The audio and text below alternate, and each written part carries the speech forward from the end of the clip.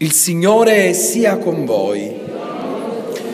Dal Vangelo secondo Giovanni. In quel tempo vi fu una festa di nozze a Cana di Galilea e c'era la madre di Gesù. Fu invitato alle nozze anche Gesù con i suoi discepoli. Venuto a mancare il vino, la madre di Gesù gli disse, non hanno vino. E Gesù le rispose, donna, che vuoi da me? Non è ancora giunta la mia ora. Sua madre disse ai servitori, qualsiasi cosa vi dica, fatela. Vi erano là sei anfore di pietra per la purificazione rituale dei giudei, contenenti ciascuna da 80 a 120 litri. E Gesù disse loro, riempite d'acqua leggiare. E le riempirono fino all'orlo. Disse loro di nuovo, ora prendetene e portatene a colui che dirige il banchetto ed essi gliene portarono. Come ebbe assaggiato l'acqua diventata vino, colui che dirigeva il banchetto, il quale non sapeva da dove venisse, ma lo sapevano i servitori che avevano preso l'acqua, chiamò lo sposo e gli disse, tutti mettono in tavola il vino buono all'inizio e quando si è già bevuto molto, quello meno buono. Tu invece hai tenuto da parte il vino buono finora. Questo a Cana di Galilea fu l'inizio dei segni compiuti da Gesù. Egli manifestò la sua gloria e i suoi discepoli credettero in lui. Parola del Signore.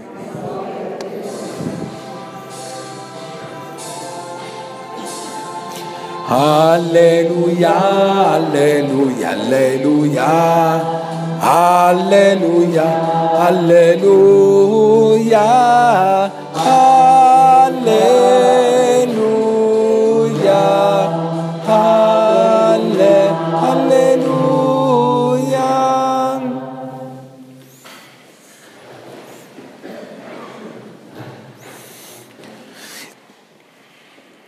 Vorrei con voi condividere una breve riflessione partendo dalla espressione con la quale si conclude la pericope evangelica che solo l'Evangelista Giovanni ci narra del miracolo delle nozze di Cana. Ci viene detto che questo a Cana di Galilea fu l'inizio, il primo dei segni, dei miracoli compiuti, dei prodigi effettuati da Gesù, cosicché egli manifestò la sua gloria e i suoi discepoli credettero in lui. Manifestare la gloria Abbiamo celebrato il giorno dell'Epifania, la manifestazione di Dio a tutti i popoli della terra, sicché vengono da tutti i lati anche i re di Persia, di Saba e di Seba, ehm, il signore di Numidia, eh, Melchiorre, eh, Gaspare parte da sotto dalla Numidia e giunge fino alla Terra Santa e anche da Ur dei Caldei, Baltasar che sale per giungere al Signore. Da tutti i lati arrivano per adorare il Signore, perché si era manifestata la gloria di Dio. La gloria di Dio che si è manifestata e sempre si manifesterà fino alla fine dei tempi. Tra l'altro il 6 di gennaio abbiamo letto, abbiamo proclamato anche l'annuncio della Pasqua e così la liturgia ci fa dire, pregare e contemplare.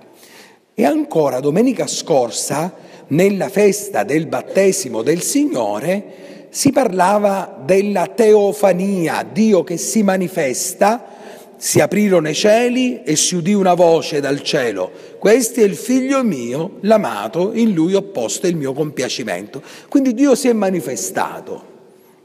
Il Padre si è fatto sentire, si manifesta, cioè eh, fa sì che tutti possano riconoscere eh, la sua presenza. Gesù manifesta la sua gloria. Che cos'è la gloria? Che Gesù manifesta.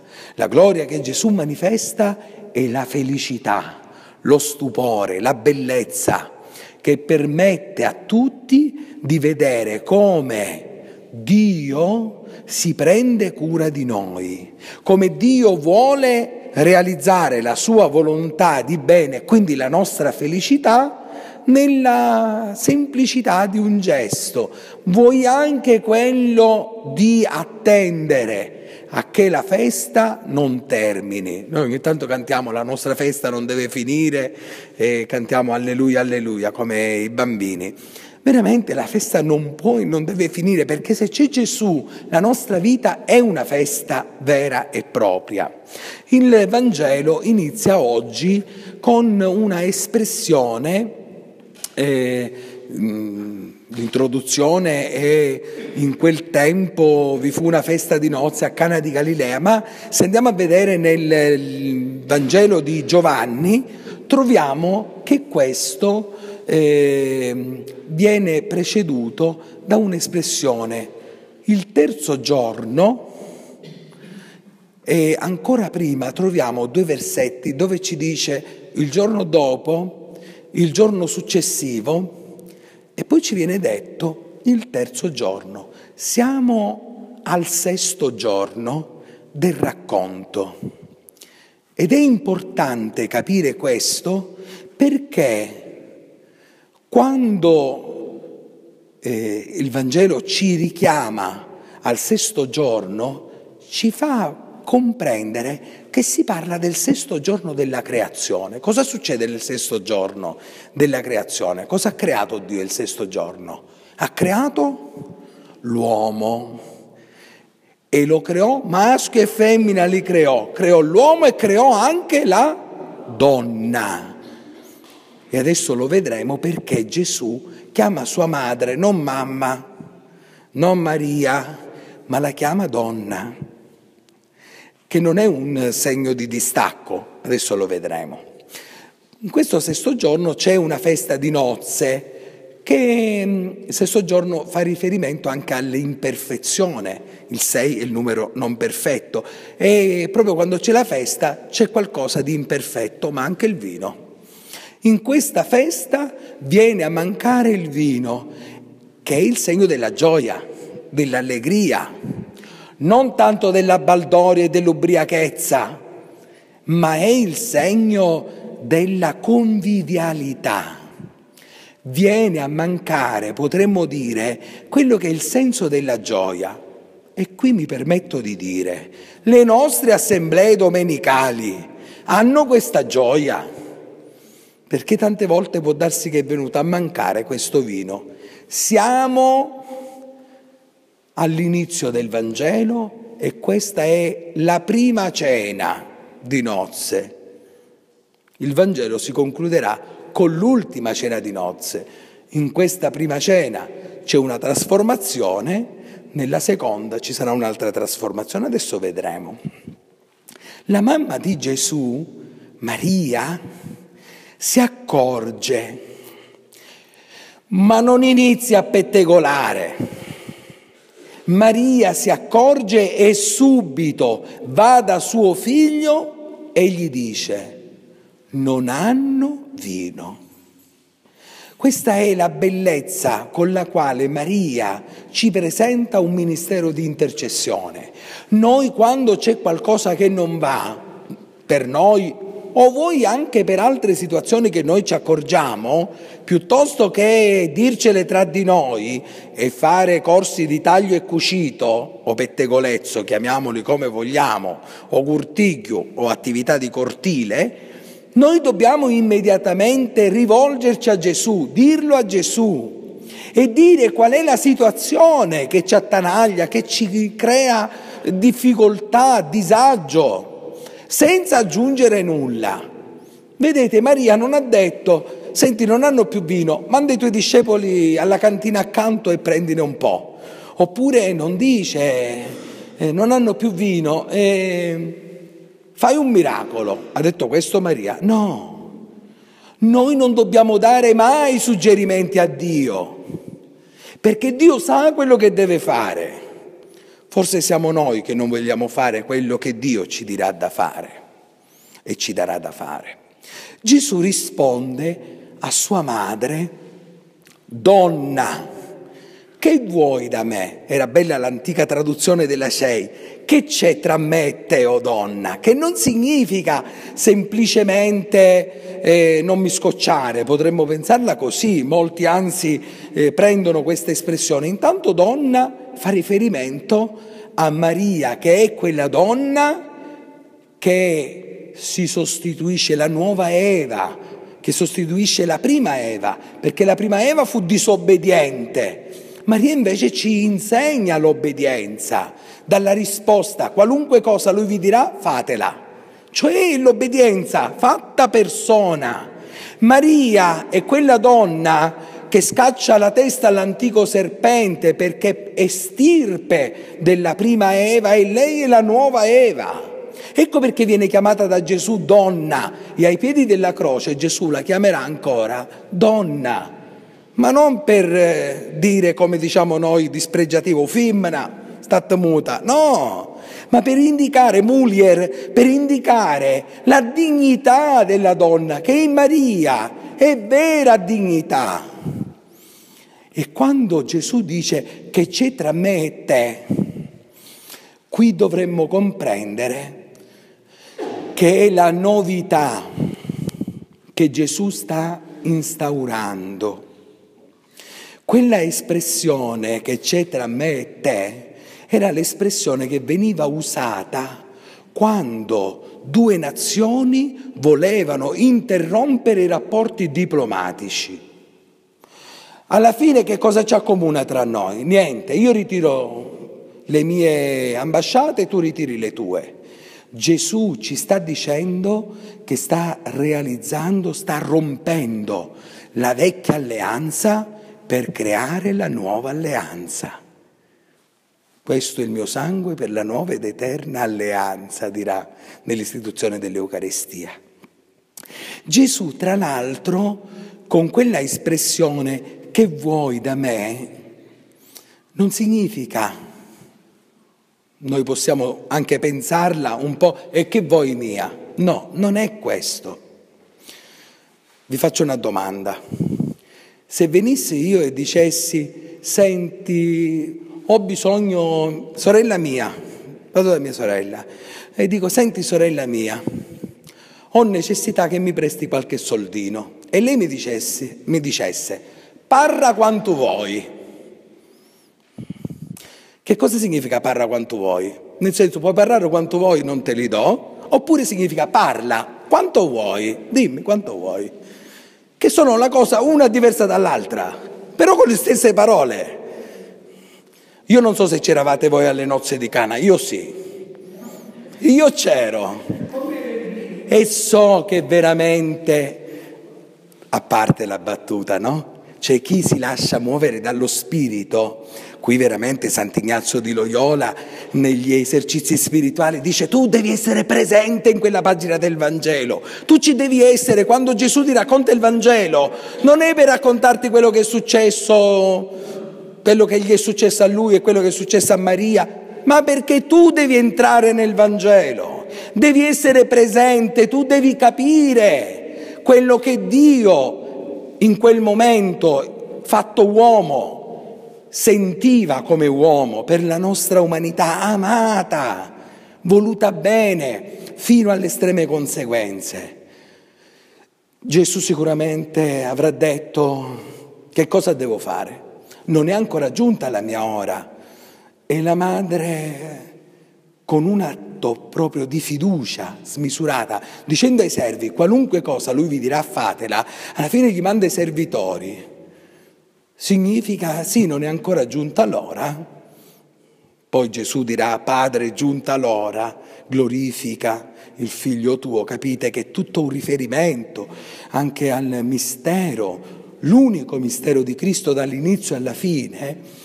E dove lì si realizza, potremmo dire, l'ora, inizia il compimento, si stacca con quello che c'era prima per realizzare il nuovo. Meraviglioso. Gesù si vede arrivare quei servitori alla, ai quali la madre ha detto qualsiasi cosa vi dirà, fatela. Questo significa ubbidite qualsiasi cosa vi dirà.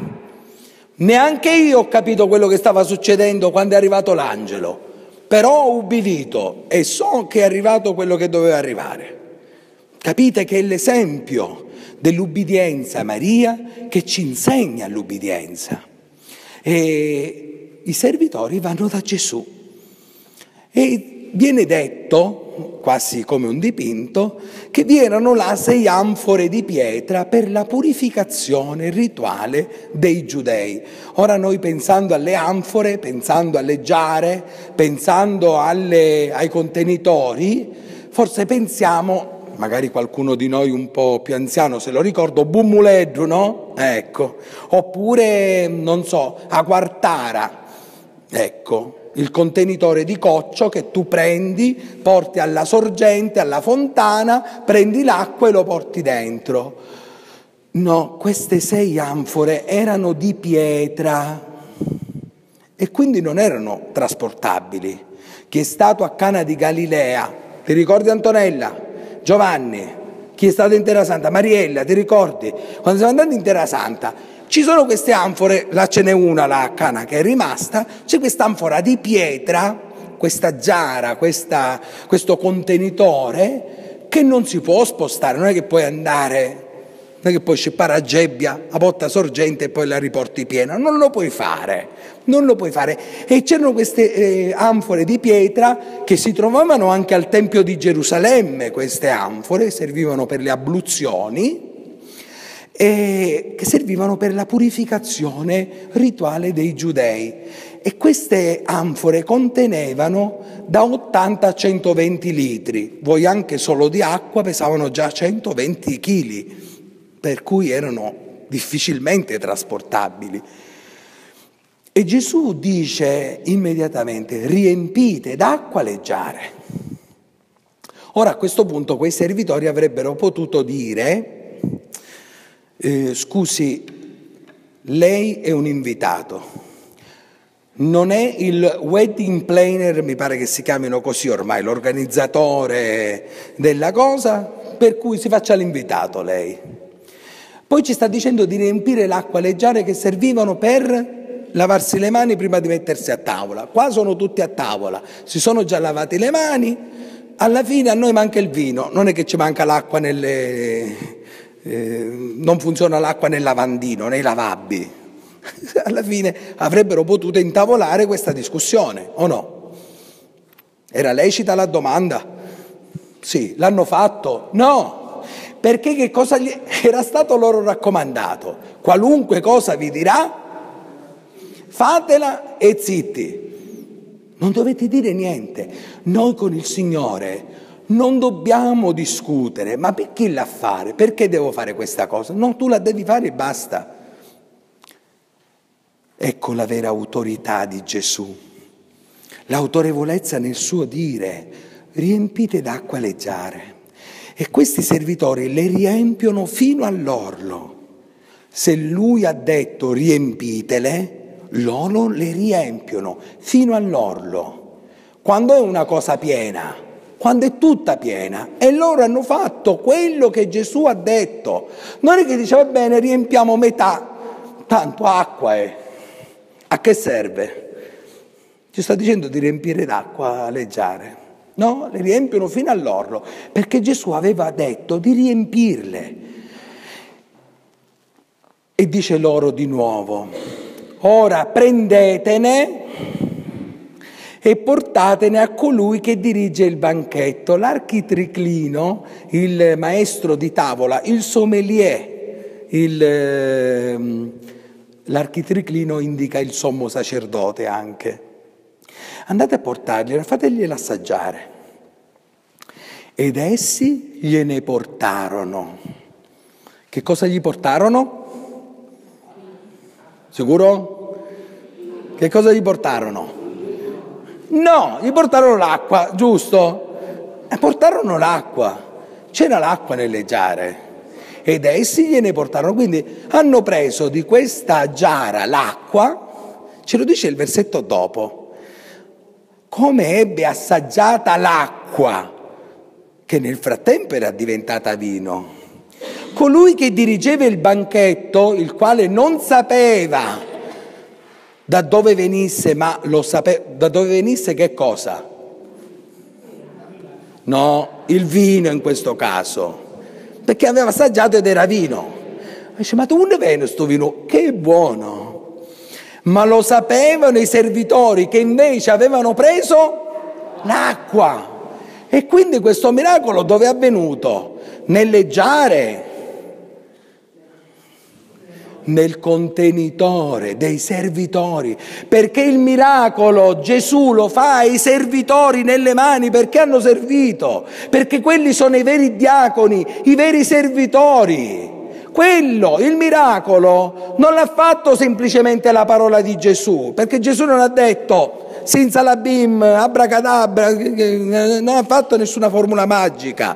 Gesù ha detto semplicemente di fare quello che era naturale fare e l'obbedienza dei servitori. Ecco il carisma della fede, adesso lo vedremo. Quella fede fiduciosa noi gli portiamo, facciamo quello che lui ci dice, ora prendete e portatene al maestro di tavola. Loro gliel'hanno portato. Noi che hanno detto, se io gli metto l'acqua al maestro di tavola, quello la beve e mi lascia curro un bicchiere in coggio. Perché così sarebbe stato, no?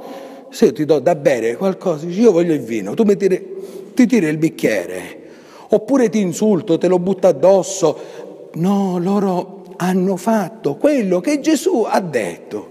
E proprio perché loro lo hanno fatto che è avvenuto il miracolo. Il miracolo lo hanno realizzato loro obbedendo alla parola di Dio. Perché se la parola di Dio viene obbedita, viene ascoltata, quello che il Signore ha detto noi lo faremo e lo ascolteremo, forse lo capiremo. Intanto lo facciamo. Poi come venne su conta. Ecco, così come sarà, lo racconteremo. Quando ebbe assaggiato il vino, chiamò lo sposo e gli disse, tutti mettono in tavola il vino buono all'inizio e quando si è già bevuto molto, quello meno buono. Stamattina pensavo alla filastrocca che ogni tanto si cantava. Ti ricordi quando ero muzziti? Ne mangiavamo i zuccherati, ora che siamo maritati, cauci pugni e tompolati. Dopo i confetti si vedono i difetti. Tante volte anche nel matrimonio, perché questo passo si legge nei matrimoni? Proprio per questo. Perché non dobbiamo cambiare. Tante volte ci sono situazioni dove si cambia e qualcuno dice, ma è cambiato, non è più l'uomo di cui mi ero innamorato prima, non è più la donna di cui mi è, eh, è cambiata pure lei. E allora cambio lei o cambio lui? No, qua non c'è da cambiare niente, noi dobbiamo conservare, ricordati, il tempo dell'amore vero. Allora lì è il miracolo, conservare l'amore, custodire l'amore. Tu hai conservato il vino buono fino ad ora. E adesso vi faccio una domanda e può essere l'una e l'altra la risposta. È un rimprovero oppure un complimento? Può essere sì un rimprovero? Sì, ti eri conservato il vino buono fino ad ora perché te lo volevi bere tu solo. Giustamente, oppure può essere anche un complimento. Bravo, hai conservato fino ad ora il vino buono. Cioè le cose belle, e più stai, più bello è. Questa è la bellezza. Non c'è la stantive, eh, l'essere stanti, essere tante volte ci si ammuffisce e invece deve essere qualcosa di vivo, di vitale. Il vino, quando viene invecchiato, o si raffina e diventa ancora più buono, oppure si inacidisce. E questo è quello che possiamo fare noi. Nel tempo o diventiamo più buoni oppure ci inacidiamo. Nei nostri rapporti, nelle nostre relazioni c'è la possibilità di diventare o più buoni oppure di sfoderare, sguainare la durlindana da un lato, la scimitarra dall'altra e si salvi chi può. E così è. Allora qual è la scelta nostra? Conservare le cose buone, non solo permettere a Dio di realizzare cose buone nella nostra vita. E allora ecco il, l'esercizio dei carismi di cui ci parlava San Paolo scrivendo alla comunità di Corinto, dice vi sono diversi carismi, ma attenzione, il carisma non è che dà qualcosa in più o qualcosa in meno, toglie qualcosa a qualcun altro. Alla fine tutti abbiamo due mani e cinque dita per ogni mano. Mi pare che è così o no? Sì o no? E non è che chi ha un carisma e sa fare una cosa sta togliendo a chi non la sa fare. Alla fine tutti abbiamo lo stesso equipaggiamento. Ed ecco che il carisma fa sì che l'unico spirito si manifesti nella comunità. Vi sono diversi ministeri, servizi, chi fa una cosa e chi ne fa un'altra. Ma uno solo è il Signore e tutti dobbiamo rendere gloria a Lui che ci dà l'opportunità di partecipare all'opera sua. Ancora, vi sono diverse attività e chi fa una cosa e chi ne fa un'altra, chi parla dell'evangelizzazione, poco fa parlavate dell'evangelizzazione, qualcun altro fa un servizio di carità, chi si occupa delle missioni e quindi eh, va fuori a fare carità e chi si occupa invece all'interno delle comunità di rendere decoroso e dignitoso il luogo dove si prega. Diverse sono le attività, ma uno solo è Dio è lì noi che veramente dichiariamo la professione nell'unico Dio, altro che il credo che diciamo con la bocca, ma uscendo dalle nostre chiese veramente si salvi chi può. Siamo non credibili, altro che credenti. Siamo veramente ridicoli, perdonatemi che dico questo. Quando, sì, questa cosa, no, non la faccio più, non mi piace. Ma io non è che faccio le cose perché piace a me o non piace a me il diacono, il servitore, è colui che serve l'unico Signore e dice Signore grazie perché mi dai l'opportunità di fare del bene ancora oggi, mi dai l'opportunità di fare del bene e di partecipare all'opera tua. Ecco che a ciascuno viene data quindi una manifestazione particolare dello Spirito per ciò che è buono nella comunità, per edificare per edificare, per far crescere e tutti dobbiamo edificare, tutti dobbiamo concorrere, tutti dobbiamo creare l'opera di Dio e Dio la crea attraverso di noi. Uno infatti, per mezzo dello Spirito, può avere un linguaggio di sapienza.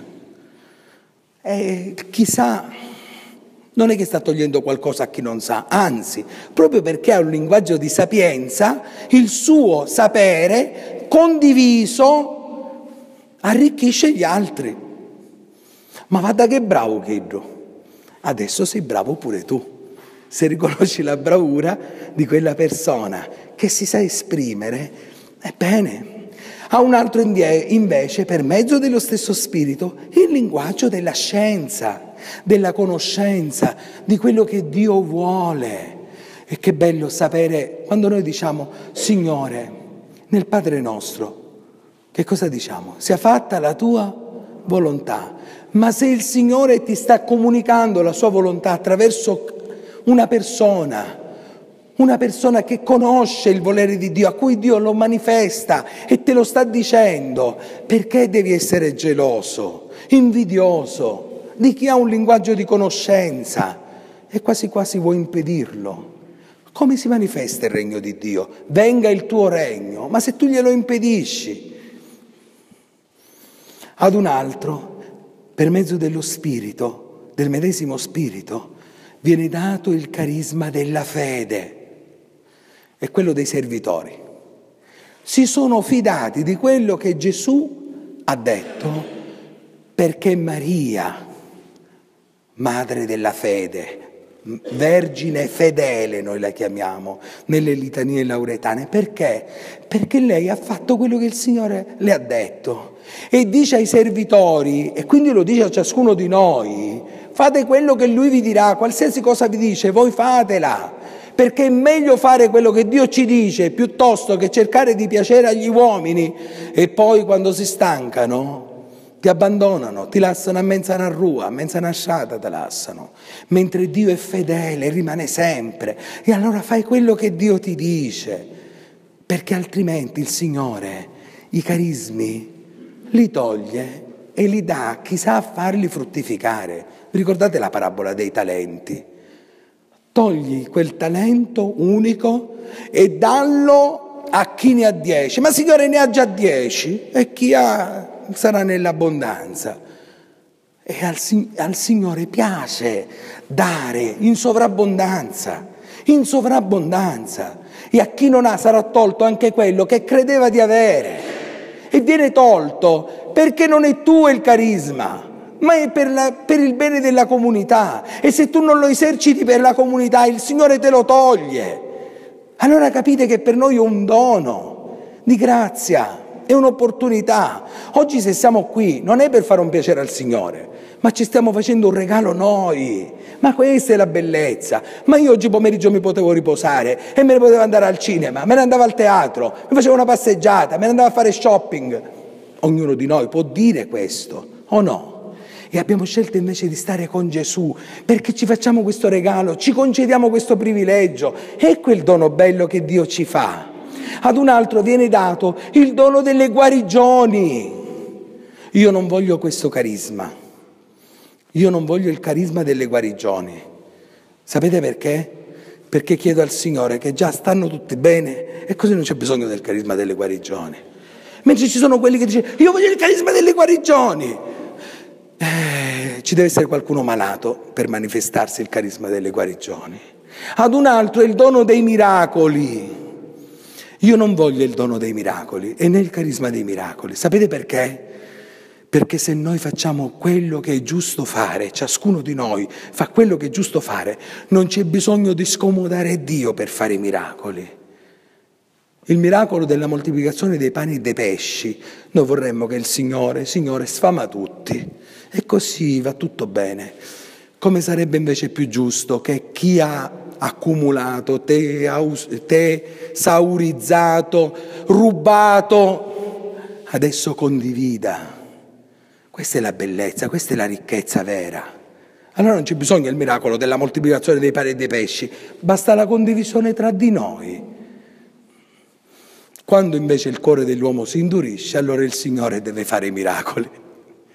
Quando c'è la cattiveria dell'uomo, dell'umanità, che sfrutta anche situazioni e mette disordine. Allora lì Dio deve intervenire per mettere ordine, vuoi anche nel ricostruire, nel guarire, nel sanare quello che la nostra grettezza ha creato. Ad un altro viene dato il dono della profezia. Oh come vorrei che tutti fossero profeti, diceva Mosè a coloro che eh, anche non, non presentandosi alla convocazione avevano ricevuto lo spirito di profezia. E c'erano quelli, no, dice, quelli non sono venuti, quindi niente profezia, non possono essere profeti. Voglia il Signore che tutti fossero profeti, cioè che tutti possiamo parlare, il dono di profezia meraviglioso è il carisma della profezia. Tu parli, presti la tua voce a Dio e tante volte il Signore ci parla e ti arriva la persona che tu non te l'aspetti, ti dice una cosa e dice il Signore mi ha parlato attraverso quella persona, ma l'ultima, ma quella che stava mm, spazzando a terra e ti dice una cosa e ti arriva il dono di profezia, perché parla, presta la voce a Dio, parla in nome di Dio, parla prima che Dio agisca perché tu nel momento in cui Dio sta agendo ti rendi conto che non è opera dell'uomo ma è opera di Dio, perché il Signore te l'ha detto, perché il Signore te lo dice prima, dice aspetta, questo lo sto facendo io. Non lo stai facendo tu, né tantomeno ti arriva qualcun altro, ah meno male che c'era questo c'era quello. No, il Signore te l'ha mandato e te l'ha detto prima, io ti mando, il mio messaggero, io te lo mando. Sicché le persone che rispondono alla profezia, eh, bene, partecipano all'opera di Dio, altrimenti si perdono l'opportunità.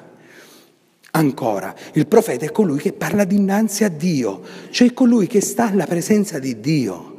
C'è colui che quando esce da qua, il profeta, bello, tutti siamo profeti qua, davanti al Santissimo, mettiamo, diciamo belle parole. Il vero profeta è colui che porta il lieto messaggio fuori come sono belli sui monti i piedi del messaggero, quando il Signore ci manda a salire sulle alture, a fare sacrifici, a stare con quelli con cui veramente è una fatica starci ogni giorno e portare la parola di Dio. E nell'ospedale devi dare la parola di Dio. E il marito con la moglie e la moglie deve sopportare il marito o viceversa, il marito o la moglie, dipende dai casi, e lì tu capisci che fai la volontà di Dio. Quella è la tua pro- essere profeti significa questo oggi, essere presenza di Dio, parola di Dio viva nell'umanità. Ad un altro viene dato il dono di discernere gli spiriti, che non significa che sono quelli che si improvvisano mensi mavari, mensi esorcisti e fanno più confusione che altro. Il discernimento degli spiriti o anche il carisma della liberazione, chi ce l'ha ce l'ha, chi non ce l'ha non se lo può inventare, perdonatemi. Santa Caterina da Siena non era esorcista, non era prete, non, era, non aveva ricevuto neanche gli ordini minori. Quando arrivavano da lei gli indemoniati scappavano, i diavoli scappavano, perché aveva il carisma della liberazione. Allora cerchiamo di capirle certe cose, o ci sono ed è acclarato, affiorano da soli perché è lo Spirito che soffia dove vuole e dà a chi vuole, quando vuole, perché vuole, perché la comunità possa essere veramente benedetta anche questo carisma. Io non lo voglio. Perché? Perché così ci penso il Signore, uno libera prima, è santo liberante, come si suol dire, così siamo già liberi prima di venire qua. Oppure, prima ancora di entrare dal cancello rosso, tutti già liberati e si arriva già belli, liberati e tranquilli. Così deve essere. Perché il Signore agisce prima, perché opera sua, non è opera degli uomini. Ancora, ad un altro il dono della varietà delle lingue, ad un altro l'interpretazione delle lingue. Non ci perdiamo nelle, nelle realtà che accompagnano, accompagnavano la Chiesa e possono accompagnarla anche oggi. Però vorrei concludere con un riferimento ai servitori. Il termine che usa San Giovanni è diaconoi, che sono non diuloi, gli schiavi, i prezzolati, quelli che io ti pago, ti faccio un servizio, eh, devi pulire questa chiesa, quanto vuoi? 20 euro, ciao. No, il vero servizio è un servizio libero, che ti affranca, è un servizio dove la ricompensa è fare le cose per il Signore e quello che tu fai per il Signore Dio non se lo dimenticherà mai. E dopo duemila anni queste persone vengono ricordate anche oggi nel Vangelo. Noi non sappiamo i nomi di queste persone.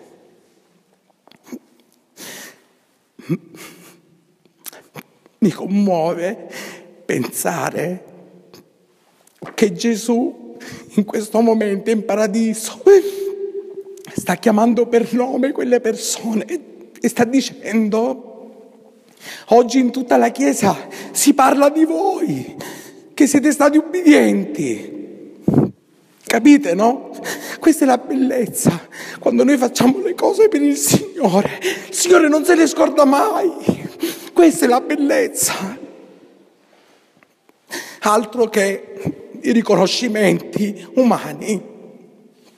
Vergogna per gli altri, vergogna. Il Signore a, a quelli che, che, vivono perché vogliono un riconoscimento umano, di, vergogna. Tu non mi hai servito, ti sei servito di me. Capite la bellezza del Vangelo? I servitori sono quelli che stanno con il Signore sempre, anche quando il nemico semina la zizzania e stanno nella casa del Signore. Padrone, che cosa è successo? Non hai seminato il seme buono, non hai seminato il seme buono, perché c'è la zizzania? Mentre noi dormivamo tutti, il nemico ha fatto questo. E quei servitori dormivano nella casa col padrone Ecco la bellezza di stare con Gesù sempre. I servitori sono quelli che hanno libero accesso alle ricchezze di Dio. Quelli che stanno con il Signore hanno, sanno dove mettere le mani. Vi ricordate il figlio prodigo? Presto prendete l'anello, mettetelo al dito. Il padrone di casa, il padre, manco lo sapeva dove erano gli anelli, dove erano le cose preziose. Sono i servi che lo sanno. Siamo noi che possiamo agire in nome di Dio, fare miracoli in nome di Dio. Ecco la bellezza di stare con il Signore. Ecco la bellezza del Vangelo. Altrimenti versiamo l'acqua e noi troveremo acqua. Capite? Se invece noi in silenzio facciamo quello che Dio ci dice, i miracoli arrivano. Lo sappiamo che è anche merito nostro. Lo sappiamo. Perché il Signore dice, bene servo buono e fedele, hai fatto quello che io ti ho detto e questa è la ricompensa, che avvengono quelle cose che tu mi hai chiesto, perché alla fine quei servitori si sarebbero sentiti mortificati pure loro senza vino. Che cosa dobbiamo fare ora? Che, che fiasco che è venuta sta festa. Invece c'è la festa. Ecco la festa che non deve mai finire. Nella nostra vita non può e non deve mai finire la festa. Se c'è Gesù non finisce. Altrimenti ci dobbiamo mettere tutti in discussione, fratelli amati. Veramente. Noi dobbiamo essere quei servi che fanno la volontà di Dio a prescindere da quello che gli altri possono capire o non capire, vedere o non vedere. Sarà il Signore poi, alla fine, a dare la ricompensa ai suoi servi fedeli. Voglio il Signore realizzare questo per noi, in modo particolare per noi che siamo qui stasera. Il Signore lo deve fare per noi. Signore, io c'ero, e c'è forse qualcosa che nella nostra vita deve cambiare, una guarigione, una conversione. Stasera il Signore si ricorderà di chi ha detto sì e di chi è venuto. Ma non qui, di chi è andato anche nelle celebrazioni in parrocchia e lì ha detto Signore io ci sono e faccio quello che tu mi dici, perché se tu parli io devo fare quello che dici tu, non quello che la gente parla perché io non faccia. Questa è la bellezza dell'essere servitori del Vangelo. Ci accompagni Maria, Madre di Gesù, Madre nostra, che ci insegna la fiducia disarmante. Qualunque cosa il Signore ci dica, fatela. Qualsiasi cosa il Signore mette nel nostro cuore, facciamola.